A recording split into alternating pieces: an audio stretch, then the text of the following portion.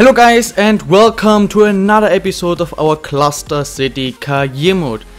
Well you might ask, first of all I told you that today there's gonna be an Aston Villa episode, so the first episode, the start of the Aston Villa career mode, there still might be an Aston Villa career mode video, I'm not sure because I know that right now I'm recording this video and I'm like 80% sure that after this I will record an Aston Villa episode, so the first episode, I prepared everything, I'm very sure about it but I'm not sure if I'm tomorrow have the time to not only make this video and save it and upload it but also the next one and record one.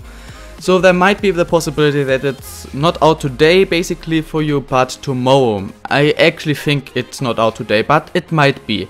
I'm not 100% sure, but yeah, why do I make another um, episode of this? Football Manager 17 save, even though I told you I'm not gonna do that many episodes, because I did all the pre-season and everything. I'm on the day, as you can see, ne next match, Saturday the 5th of August, it's the 5th of August. So today it is the first game of the league, and I've gone through all the pre-season, and after this, um, I recorded this, I will go through a lot of games, at least like half of the games I think, until I make the next episode. So there are definitely a few days until the next episode, maybe even a full week, who knows, depends on how much I play. But I, before I can start, I have to update you. I told you in the start and definitely in the end of the um, season, I will also, uh, always make a video. So I have to do one and there's no reason to record it and not upload it. So therefore, today there is another episode. Um, a lot has changed. I want to really quick talk about the tactics and um, the finances, but especially about the transfers, and that's more or less it. So this episode should be a bit um, shorter than normal. Tactics have changed a bit. Um, it's more or less still the same. It's still normal tempo, um, wide, slightly higher. Prevent short goalkeeper distribution. I um, yeah untick that basically, closing down from more to much more and of course playing out of defense and exploit the flanks, work ball in the box. You can see just some little changes, nothing too amazing to be honest. I had to change the set pieces, I changed the set pieces a bit, so here you can see what um, we are doing right now, corners and attack wise. So just if you care here really quick, because I don't really want to talk about this too much, you can also see what we are doing. So we're doing always the same on the left or the right, and you can see this and just if you know some things and want to talk about it you can tell me but there's no really a need. Captains also changed. Broomfield is now our captain which is I think isn't uh, funny. He's 16 years old and he's our captain but he has the best stats for it. Although these changed a bit.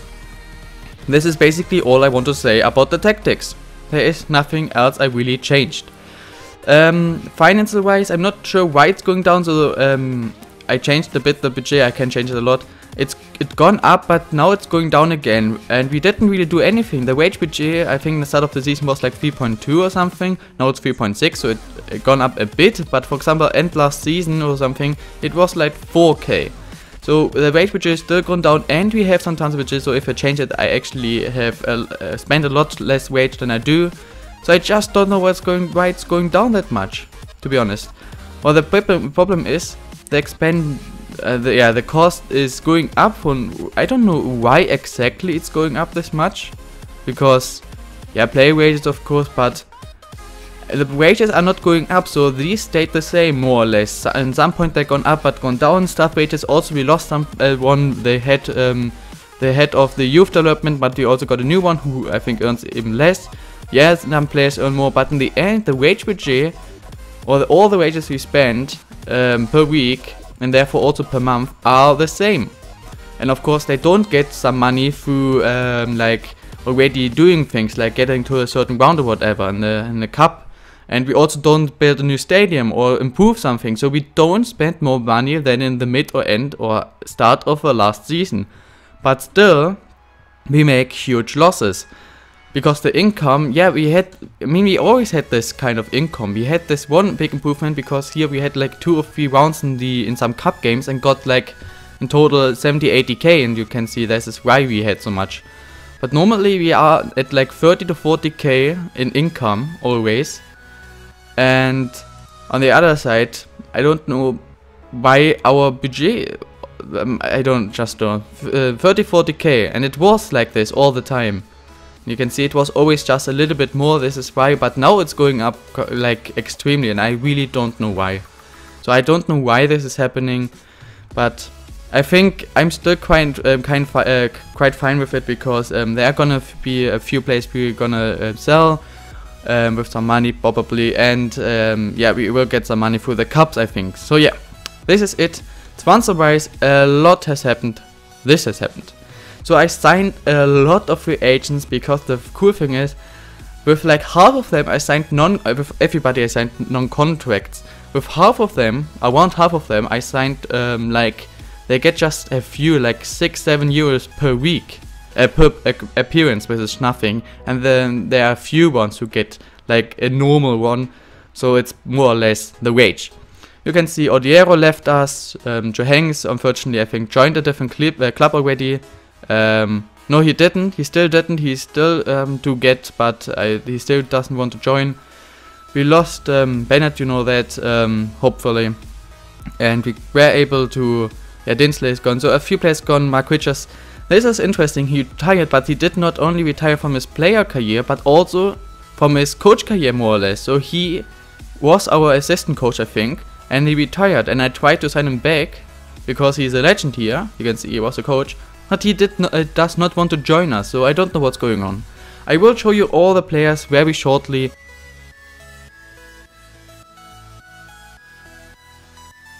Um, we have Evans, who is a um, CDM. He is a ball-winning midfielder, as you can see. I'm training him in ball-winning midfielder. Um, with some decent stats, Jordan Cox is um, somebody I will see here. He's my backup, or if he is he in my first choice team? Yeah, you can see he's right now even in my first choice team. The advanced playmaker in the like center forward position. He's pacey, has amazing um, agility, two and a half star. Determination is good, work rate is good, teamwork is alright, anticipation is very good, composure is really good, finishing, first touch, dribbling, he is our best one in that position with Broomfield. He has to fight against Broomfield for that position. And I think he will be one of the main players for us in the next one, two years. Because if he can improve, then he is just amazing. He already has a lot of stats. And he is also somebody I might think a striker. If Dale is not working, I can put him in striker role. So somebody really amazing, really happy to have him, one of our best signings in my opinion. That's why also he gets quite a lot, but also 120 he is one of them who earns definitely the most, but I still thought I have to do it because he is so good for us. And if he is just not performing, I will end the contract easily or somebody will go for him. But yeah, the only problem with him could be if he's um, performing decent. Many teams will try to get him, then we would have to sign a contract and I think then he wants big wages. Chuck Warner, who is a right winger, he can play on the left. To his ability, what I love about him, he's really pacey, has the stamina as well has the work rates. Of course, he has to improve a lot, but also somebody I think I have a lot of. Um, yeah, I really think he could be a good player for us in the future if he can improve fast. His crossing is already good. He definitely has to, of course, improve his finishing, first touch, dribbling, and some mental stats. So he has a long way to go. But if he can do it, somebody definitely I'm looking for. He can be decent. The same thing, not too much. Cortes is a really amazing player. He is, I think, a ball, uh, not a ball-winning midfielder. He can play as um, center back, but for me, I think, yeah, a trans playmaker. And look at some of his stats. He is my backup um, playmaker, trans playmaker in the center mid role because he is paid. I mean, his physical stats: 13, 13, 12, 14, good stamina, 11 determination, good decisions. Um, yeah, 7, 8 everywhere positioning, teamwork at 8, vision could be a bit better, work rate at 12, can tackle a bit, passing at 14, I think he's the best passer we have in the whole squad. A nice first touch as well, so he's not there yet, but he is really close. 3 star ability, and I think he was not on too much, yeah, nothing really. Like 25, if he's not playing 5 years. Team of the Year is also just 100, so definitely something I think is amazing. Oh, he is on the contract too, uh, to be honest though. So he... Oh, I think actually I didn't know that, that he was on a contract. Um, the other guys I think we are not on a contract, so there's actually a player I had to sign a contract with. Um, I thought that I didn't do with anybody, but maybe. Um, so I, I, I, think there were one two players I was thinking about. It's uh, it's I think two days ago. So the last times I did this, I mean like yesterday I did these. So this is two days ago. So I think he was so good that I actually signed a contract with him.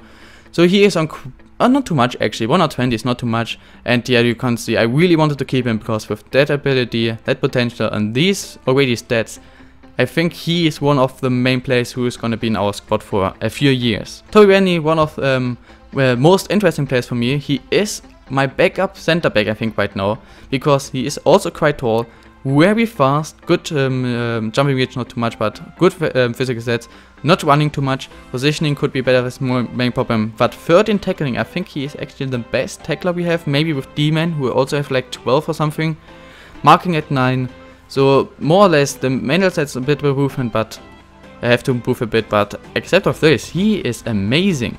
What amazing player, and he is also not really on anything. So one of the most interesting players for sure. So this is more or less it, basically. If still a few players we want to get out, but look how, how many are there? 3, 6, 9, 12, 15, 18, 21, 23 or something. There's still, I think 3, 4 players are still gonna join us in the next um, few weeks. And there are a few ones gonna leave us, because for example the under 18th, Bobby Stir, I ended his contract, so he will um, leave. The same is for Martin this guy, Molineux or however you say that, because these two are really shit. I mean, half a star, which is extremely bad even for my youth team. And even if they could would get to a one-off stability, they would never play for me. So there's new no reason to keep them. Some other players like him, for example, I'm also thinking about doing it. But yeah, in the under 23s, of course, we have all the big players. And look at the, if you have so many players with decent ability, amazing, of course there's still some first um, choice players here with that potentials.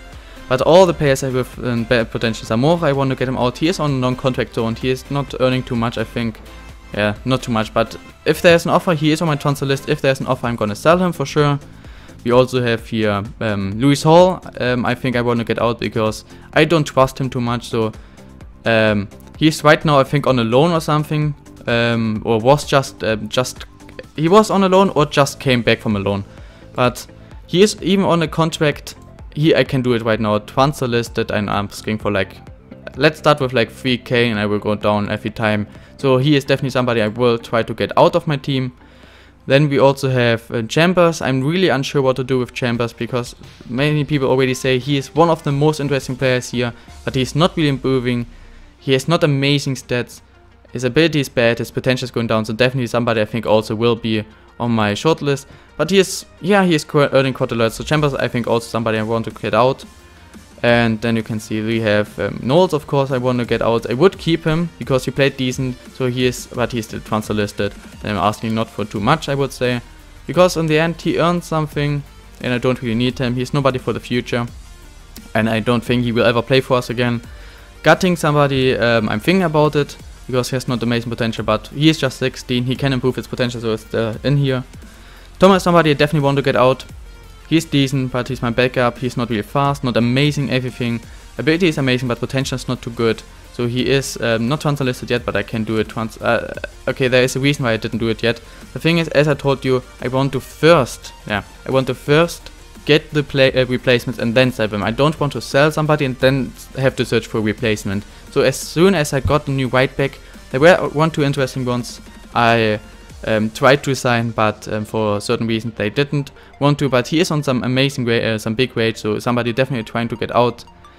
The same for Spencer Hamilton, we are trying to get him out and I'm close to doing this. I asked for someone and there are some interesting teams. I got um, was at like I think 3k, gone down, nobody was interested in going down to 2k. We had some interesting teams and now born to 1.5k and boom, everybody was interested. And I also got an offer for a zero. I think I accepted this because I just want to get him out because he earns quite uh, some money and would be really nice to get him out. Yeah, and I think this is basically everything. So you can see I changed the squad a lot and there's still gonna be a lot of changes. I hope that the fines will go up, then I sold a few players. And I think with this squad we should have nothing to do with the relegation zone. I think actually if this squad can perform, we could actually maybe even fight for the playoffs this season. Yeah, and this is more or less my goal. I would take a material place again, but if possible, I would like to, at least fight for the playoffs. Guys, this is it. I hope you enjoyed this episode. Um, until the next episode, there are definitely gonna be a few days because now I'm really gonna play a lot. Really interested in trying out a lot of plays. We have so many options. We don't. It's not too important if somebody in is injured anymore because for every position we have a lot of options, and also maybe somebody in the in my first squad is not uh, improving or he, I just don't like him. Then boom, I can quickly replace him. so I think it makes sense. I will have one quick look at the notebook, want to see if I have missed anything. Um, so I showed you this kid, sponsor, I think I told you about it. If not, we got a, new kid sponsor. Before that we got 5.8k per year, now we got 12.25k per year and the um, contract goes for 3 years, so big improvement. Before that we didn't even had a sponsorship, now we have one. Um, everybody wanted us, um, our head of the youth development, and he left. Um, unfortunately, he wanted uh, not to sign a new contract with us. We got 12.5k for that, and I got a replacement. I think already. Um, no, nobody yet, but I think I'm close to signing one. Or I, I got somebody new in, I think. I'm not sure, we still have the best scouting. I mean, what? That's amazing. Yeah, um, what is left to say? We have some amazing fitness coaches because everybody was unhappy with my fitness coach. So I got a new fitness coach which is this guy and he has 18 in fitness. So nobody can uh, ever be unhappy again with the fitness coaching and this club. I got my license B for um, finally. Um, then something I found extremely interesting, because of the protest, the World Cup 22 moved to Argentina and will not be basically in Qatar, which I think is amazing. Hopefully if there's something that, that like this could happen in real life as well. Got a new coach, everybody wanted granite and unfortunately gone. Um, yeah, Broomfield is our captain, which is stupid, but yeah. Um, everybody offered Fritz uh, Fitzgerald a new contract and still happening, but he declined everybody, uh, everyone yet and says that he wants to stay but there's still contract um, offers and, and until you cannot offer him a new contract because um, I asked him and he wants like 500 600 euros per week and I'm not allowed to do that. Also something I'm really unsure about because there are few players who earn a lot of money. Kotvika for example, Kotvika is one of them 325 per week per year and some amazing things so I really hope or he has to improve from. He is the second best, quality wise the second best player we have in the squad and earns the second most. So he has to perform, otherwise I will just get him out because he earns way too much and the best player earns the most money. And the best player we have is Demon. Jack Demon, our center back, and he earns 400 a week with some big. But he, quality-wise, is the best player we have. And I really wanted to keep him because he performs. Yeah, this is it. I hope you enjoyed it. I'm not sure if there's gonna be an Aston Villa episode today. I'm really unsure yet.